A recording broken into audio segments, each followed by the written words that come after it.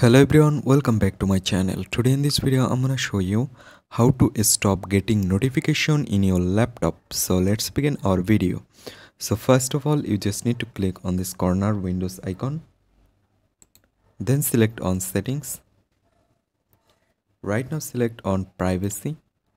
Then scroll down and you can find notification. Select it. Right now click here and just turn off so that's it. I hope you can understand. Thanks for watching this video